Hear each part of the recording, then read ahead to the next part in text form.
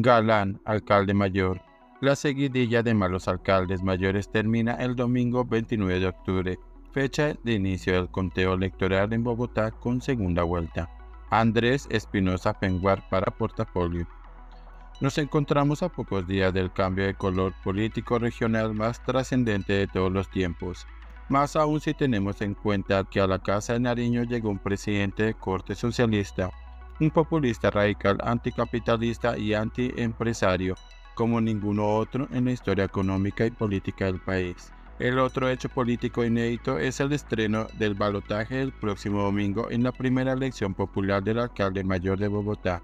En efecto, el acto legislativo 003 de 2019 estableció la segunda vuelta en la capital del país, donde el alcalde mayor será elegido por el 40% de los votos de los ciudadanos, siempre y cuando sobrepase al segundo candidato más votado por 10 puntos porcentuales. Esta modificación de las reglas de juego electorales aplicable a la capital rompe de una vez por todas el nudo gordiano que nos tenía condenados a elegir candidatos de izquierda con una minoría inferior en votos al 33%.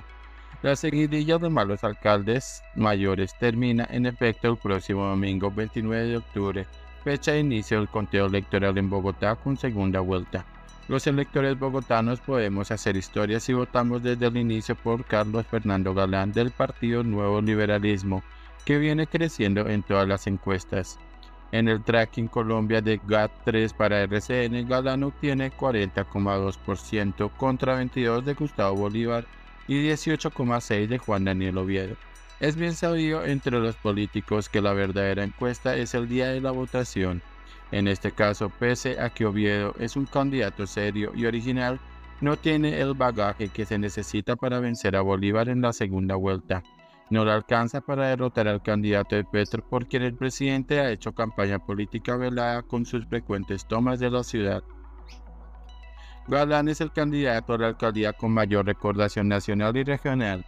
Esta es la tercera ocasión que se presenta a las elecciones para alcalde. Fue además senador y concejal de la ciudad. Su hoja de vida y experiencia son, pues, muy superiores en todos los frentes en comparación con las de Bolívar y Oviedo. Si esto no fuera suficiente, que debería serlo votar por Galán es la mejor opción para frenar las aspiraciones románticas y políticas de Bolívar en la primera vuelta. Como están las cosas, votar por Galán y ganar en la primera vuelta es lo más inteligente que puede hacer el electorado capitalino, incluidos los jóvenes quienes podrán deslumbrarse con razón con los espejitos y el relato de Oviedo. No pierdan el tiempo, voten por Galán para ganar en primera vuelta y recuperar la seguridad y la movilidad de la capital. No le den más vueltas al voto, que es sagrado, único e indivisible.